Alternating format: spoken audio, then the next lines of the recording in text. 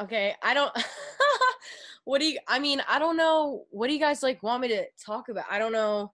Like, this, do people have questions? Because I mean, I, I mean, I know a bunch of stuff about it, but like, I'm not like God or anything. You know what I mean? So, eh, I mean, if people have questions, I could try to answer the to the best of my ability.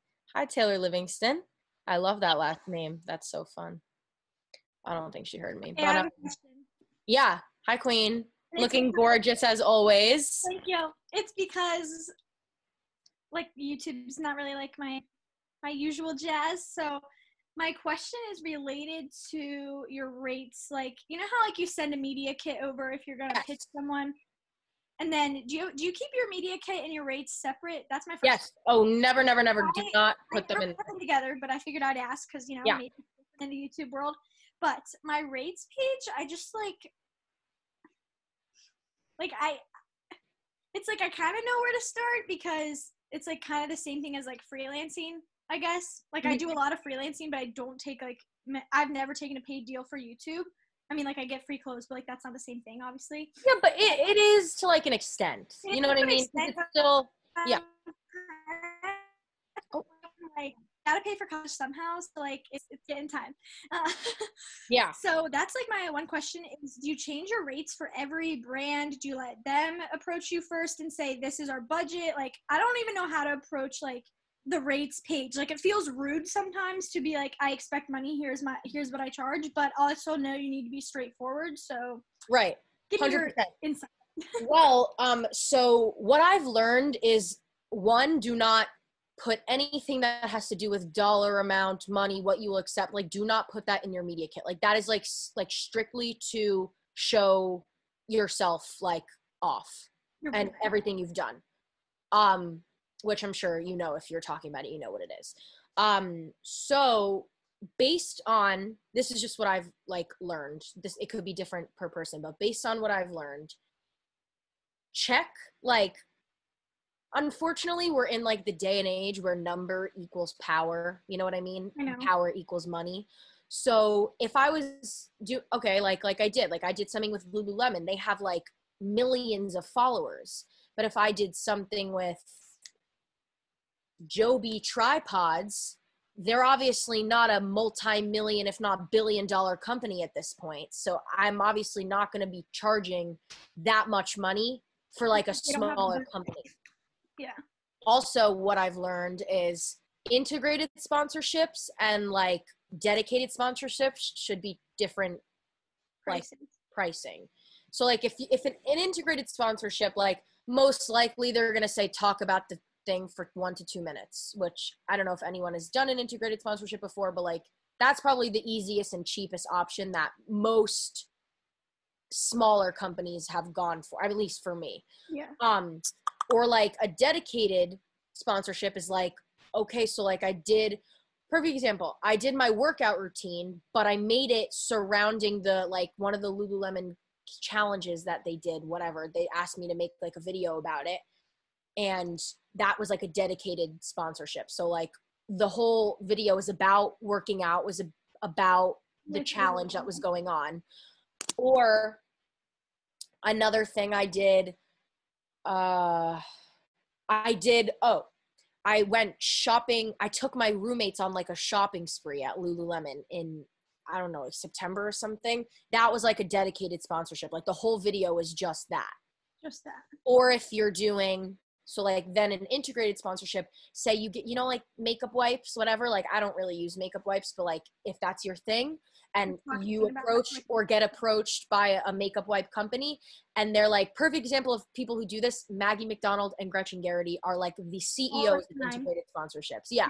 Like they will talk about it for one to two minutes and then that they get their money or whatever they Which want. I get. That yeah. seems organic sometimes. Like I don't necessarily to me it's like if it's a clothing haul fine like yeah. but, that, but that's you though like that's your yeah. brand it would it would it would be very not weird but like not in my realm if i did something like that. Yeah. you know what i mean? Yeah. So i really i think it, it really just depends on what you want to do. Personally and other people have different opinions on this like money wise whatever but like personally i don't like at least right now, I don't really want to promote a product that I know either A, I don't use or B, doesn't align like with what I want to do. Like, I mean, ever since I put my business email like in my in my Instagram bio, like you guys know, you get all those like random, like I'm not gonna do that just for like, like what's the point of that? Then that makes me like less selective. Use I the like code for 10% is, off to yeah. buy the product and you promote it. Yeah, absolutely not. That's not the vibe. I feel like being selective is more attractive to brands, if that makes sense. Yeah. Like they want to see, oh, we really need to push to get her, or we really need to push to get him. And that's where the money comes in. Oh it's like they will give you more so you take them. If they know that you have such great like representation throughout other brands like a really great thing that a lot of people forget to put in their media kit is like a testimonial quote so like in my media kit i have a testimonial quote from lululemon it's like when a brand sees that they're like oh shit like that's a big ass company you know what i mean yeah.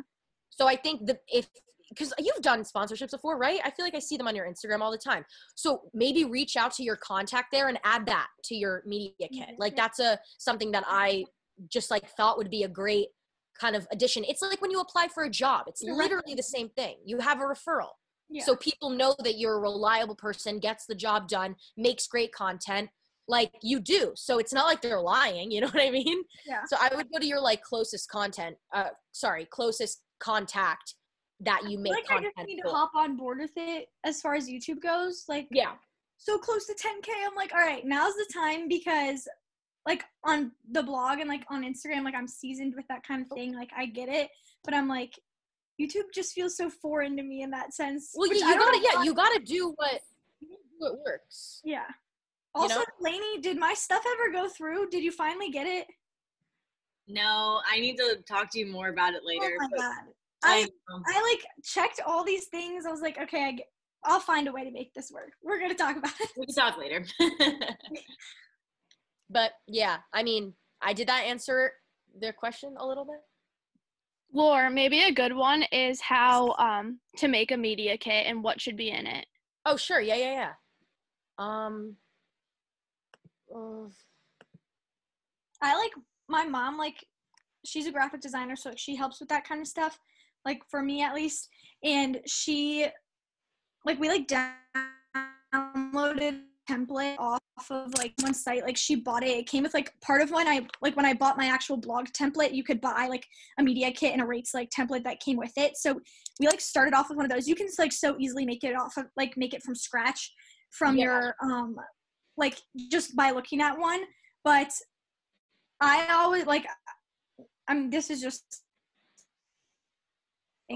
I don't list out brand I've ever worked with. Like put some select ones from like different areas because like I work with some like regular trendy clothes, some activewear, some prom designers, and I also try to talk about like freelancing as well because some people don't necessarily like some companies don't necessarily need you.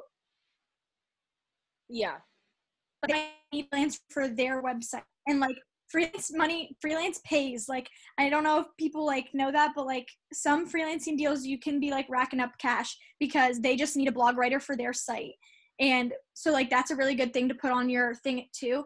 And like fake it till you make it a little bit. Like i never traveled with a brand but on my media kit it says will travel if you need like because right? Like we ought to you ought to make yourself seem really professional. You say like offer the kinds of things that you would want to do, even if you don't have experience to show for it.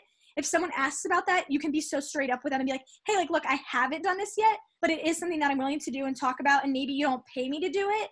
And we work on a basis where like it can work for both of us and it's mutually beneficial. Whereas like you need a little bit of help and I need the experience. And I think brands are really understand that, especially at our age. Like people want to be able to help you when you're a college student. Like I know that sometimes brands are turned off by like you being a college student because they don't take you seriously. But when you take them seriously and you show them that you're serious about what you're doing, they are willing to help you because you're in school. Like play the school card to your advantage. Like when I was going to New York Fashion Week, I was like, I am a student, and so that is why you should let me come.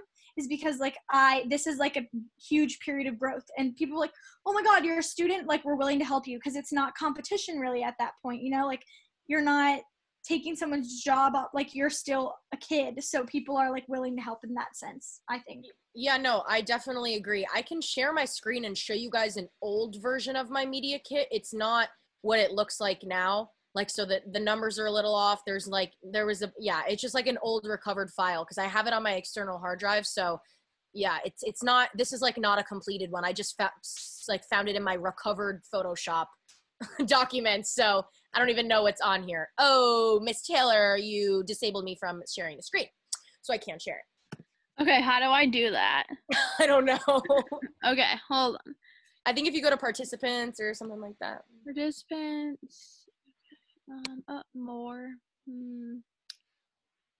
Um, maybe if I make you the host. Oh, but I don't. I don't know if that will like kick everyone off or No, no, no, no. And then and then you could you make me a co-host. co-host. Yeah. Um, Oh I- gosh, this I don't so. see that option. Oh, that's awkward. Let me go into security. This might be a security issue. Oh, security. oh. Uh, oh, allow participants to share screen. Yeah. yeah. Let's go. Okay, tell me when y'all are good. Oh, good. Okay. I think we're good. Yeah. Oh, gorgeous. Desktop. Hold up. Share. Ah. Oh my God, do you guys see? Okay, so this is my cover. Just says some things I do. Because I also actually go to school for musical theater. Fun fact. So yeah. Um, it's my about. You know, college student, as Miss McKenzie said, very important. Just a couple, you know, fun tidbits, whatever. Some social statistics that are off now, but that's okay. Some fun little pics of me. This, some fun demographic moments, YouTube and audience. I also recommend doing showing some videos in here that like kind of talk about whatever your life, link them, examples, make sure they're linked, channel. Always put the watermark as you can see over here. Insta, my engagement. Engagement is really good. Um, followers, obviously, audience. There used to be uh, something else over here, or maybe there. i- I don't know what's actually in the real media kit, but this, there is something here. I know. Uh, just Instagram collaborations that I've done. Little example of what you know what I did. This one was great. Lululemon. It got like fourteen thousand impressions. So like it's always great to add the numbers. Like I said, number equals power. Some partnership collaborations that I've done in the past. Again, little example of uh, what you did for them. Like um, what was like life is good. I did like a campaign with them. Amazon. I did something with Amazon Prime Day for them. So it really just depends. Again, brands I've worked with. Obviously, this is not. I am not from Threads magazine, whatever. This was where the Lululemon quote is. It's just not in this one. Then let's work together. Partnership email, Instagram, fun little picture of me looking happy in Chinatown. And that's pretty much it. So, cover, overview, statistics, YouTube audience, Instagram audience, someone like Mackenzie, you have like the blog, right? No? Yeah. Yeah, so like you could put blog there or add another thing if like people here have a blog, partnerships, collaborations, whatever, brand testimonials, um, and then uh your final just like let's work together type of thing. So yeah. Mine's just like two pages. Like mine looks more like a it's like a resume slash like I don't know. There's so many different templates, and I Yeah. think like depending on what you're doing, really depends on like what your media kit looks like, or even Definitely. like there's some companies like if I pitch them, like I'll change aspects of it because I want it to like be more appealing to that company, and I think that's important too. You know, like you wouldn't submit the same resume to everyone necessarily. You would switch it up a little bit. So depending on that and like who you're working with, like also what you want to get out that brand, like what your goal is, depending Yeah, on what like it looks if- like, I guess. like so. if you're working with like a food type of company or whatever food beverage anything like you're not like you shouldn't be showcasing oh i work with clothing like you should showcase something that kind of emphasizes that side of you a little bit more like yeah I, I was gonna say exactly what mackenzie was saying like you wouldn't submit the same resume and cover letter to every single job you apply to it's literally just the same thing you're just marketing yourself but it's like more of a visual marketing yourself if that makes sense So yeah. Um, I have an idea for like the group. Maybe for those of us who have media kits or are like in the process of making one, we could like in the next few um, Zoom meetings take turns throwing up ours, and like before we send it to any brands, have everyone like see if there's any mistakes, see what we should add, and then like even if you're it's not like your turn to go, you can still like learn um, and update yours kind of like as we're doing that. That way, everyone like kind of is working on it because I feel like a little overwhelmed by the whole thing and like stressed out because I don't want to represent myself in like a way that's not professional kind of thing, but I don't know what like the industry standards always are. So I don't know if that's something you guys would like, but we could do that.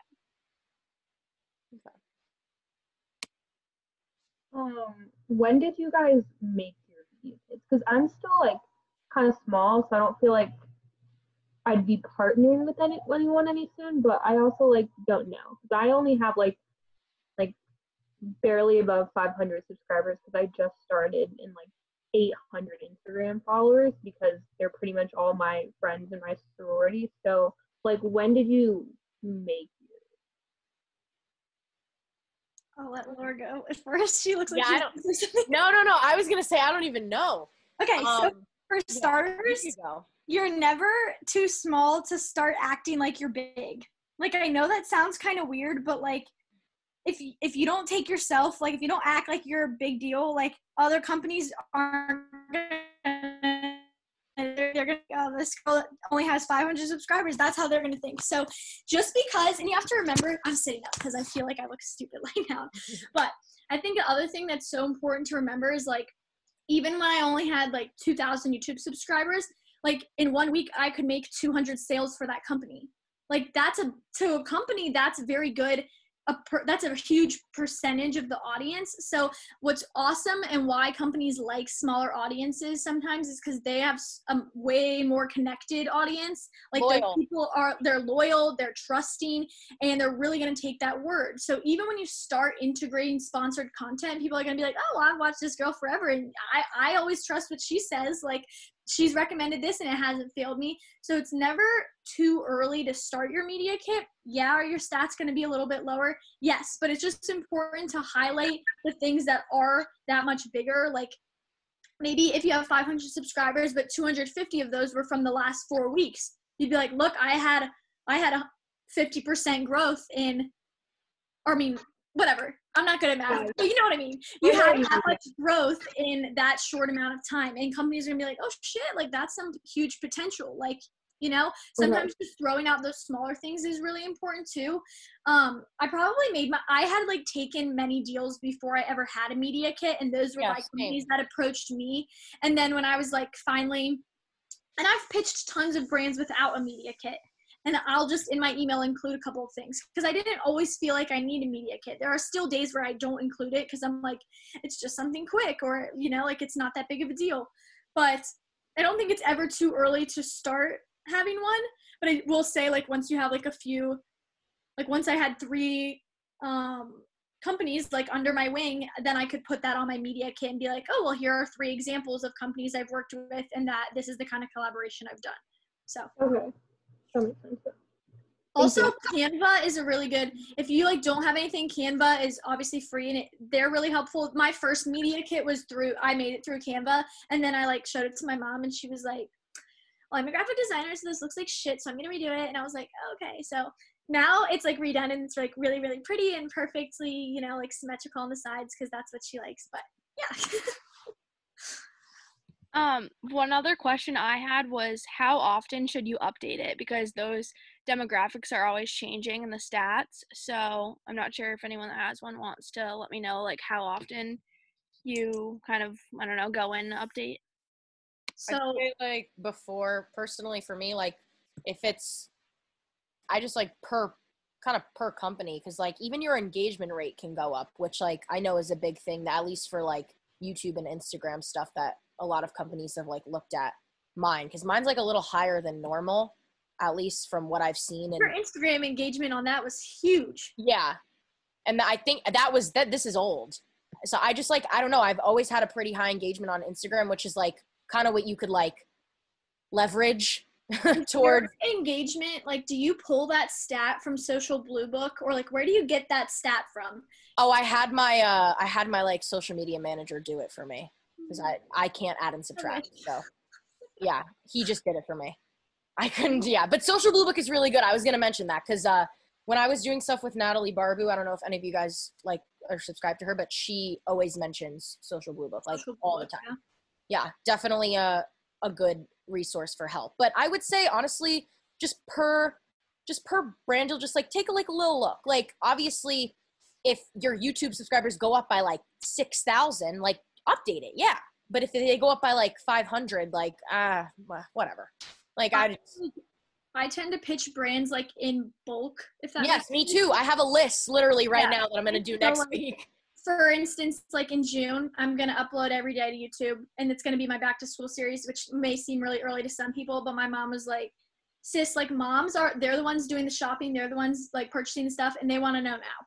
So I was like, "All right, that's what I'm gonna do." So if, for instance, if I was gonna go pitch for like back to school content, I was gonna pitch IKEA, Bed Bath and Beyond, like all these companies all at 100% I would like sit down and I would make sure before I send them all on the same day that I update it, like look at the statistics and I'll go like periodically. I don't really like pitch one brand on Monday and then the next Tuesday decide to do it and then Wednesday decide to send another. I usually am like sitting down doing it kind of all at once. Like maybe I'll send like 10 in a day. So like because I have back to school content, I like reached out to some brands and was like, hey, like let's do some outfits together or I'm planning on showcasing um outfit ideas to wear for recruitment. Like i would love if you sponsored this video and i you sent some clothes over for me to naturally like organically incorporate into this video.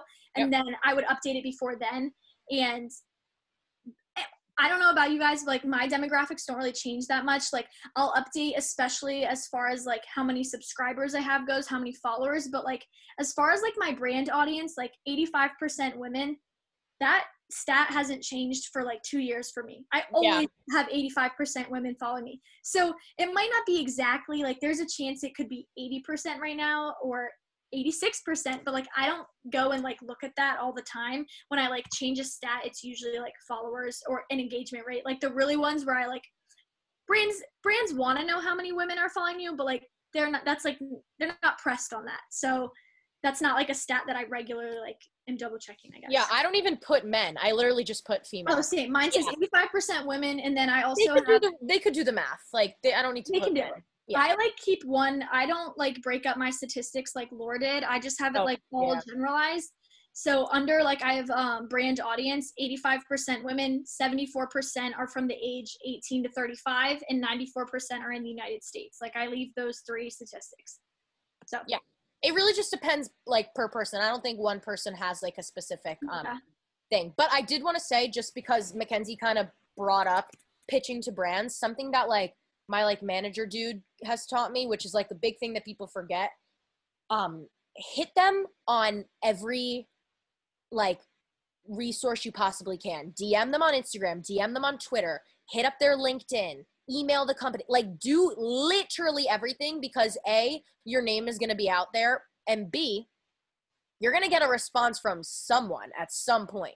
So although it takes like a little time like i've had um i've had like brands or companies whatever i've dm them like a little cold nonchalant dm and then they answer in a couple days or some answer within the hour. Like it literally just depends but they literally have a person like that's a job to answer dms so they'll answer it at some point. If someone could get Princess Polly to say yes to me, that'd be great. yeah yeah facts. They're they're an interesting bunch I'm like, please, please, like oh my god you do so well with them oh i would love to watch that video I just like i would on, honestly i would hit them up on like linkedin and find the people that to. work there because i I started off with the email and then they didn't answer the email after I followed Yeah. up like three times. So then I was like, all right, time to go to Instagram. So I Instagram like, hey, I contacted the email that you have linked in your Instagram and no one answered. So what do you want me to do? yeah And they were like, they sent me like a link to the form, which is like, I hate filling out like forms on websites.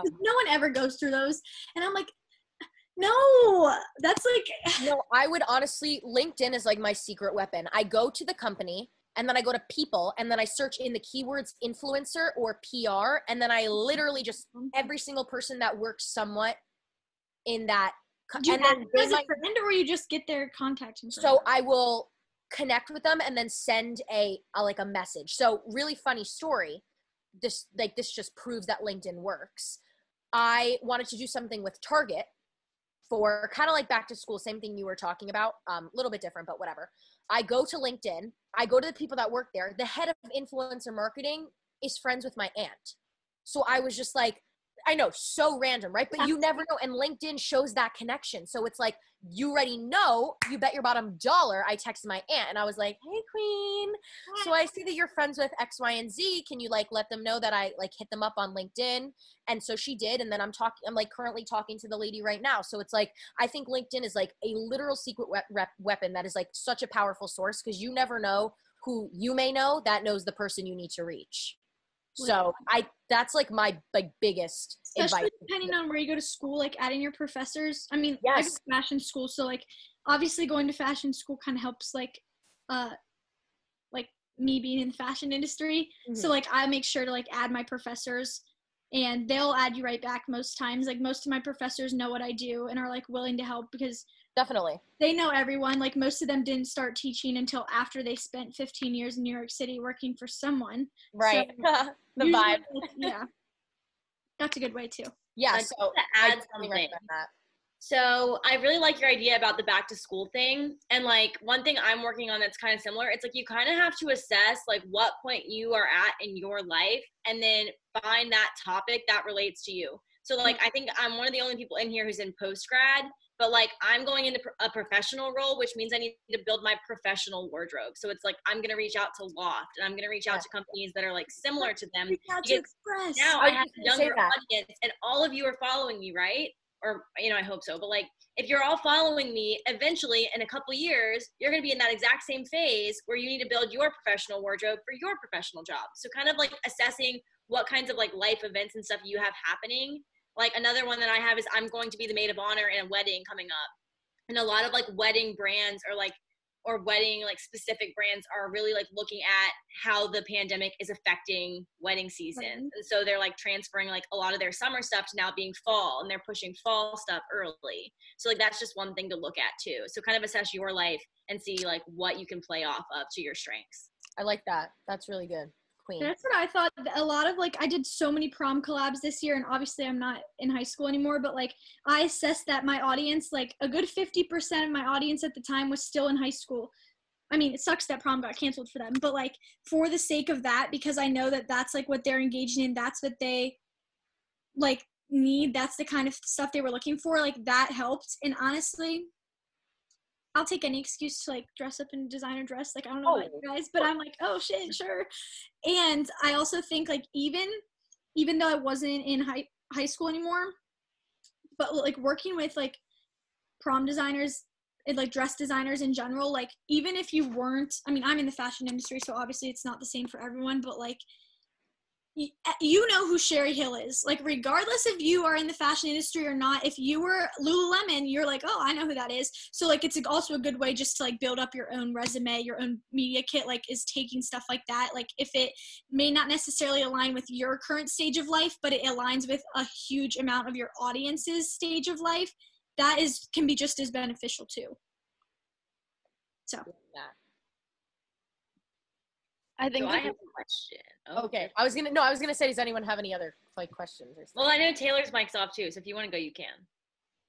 Okay, well, your mic's not. Okay, so one thing I was wondering about the media kit, going back to that. So I personally, I don't have many contacts directly with brands because I work with a couple media agencies that will like send me collaboration opportunities as they like come by.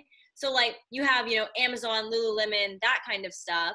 And Mhm. so like I've worked with Doritos like really randomly, but like I have no relationship with them other than like the one sponsored post. So like I probably won't put that in my media kit, even though they're a big brand. But then I've worked with bigger brands that no longer fit my brand. So it's like, how do you pick the best ones? Because I used to be like big Lilly Pulitzer, Vineyard Vines girl, and they both sponsored me at one point, which are like big brands, but like I wouldn't even wear them anymore. So I mean, I think it's worthwhile to put one of them in. Like I do because people like at the end of the day, like people will see that that's a huge multi-million dollar company. So like I don't think it's not necessary like it depends. So like I keep on mine like for instance Yogalicious. Smaller company, but I love them. I've worn them for years far before they ever did and I want to show that I work with activewear. Then I have like L'Oreal, for instance, like shows a little bit of beauty. I have DSW on there. I worked with DSW once, but you bet your bottom dollar every person in the fashion industry knows who DSW is. So does it matter that I only worked with them once my first year of blogging? No, because no one else knows that. You know what I mean? Like it's kind of like on your resume when you like put the best things about you, but you don't mention that like maybe you're not that patient or something. I mean, like yeah, I get it, but also like you're supposed to like you're selling yourself at the same time. So like put the big deals. Like for instance, I'm right now like in the works of something with Bed Bath and Beyond. Bed Bath and Beyond's like a huge company, right? Like for the college lifestyle, like that's obviously like a good thing to have. But do I have just as you were saying, that's like influencer like messaging me and being like, "Hey, apply to this collab." Do I have a direct contact with them? No, I don't. Need, I wouldn't even know how to ask them to do anything further than that. But do I probably add it? And like when I pitch IT, I'd be like, "Hey, like I just need Bed Bath and Beyond. Can you? Yeah, because like just seems logical to me.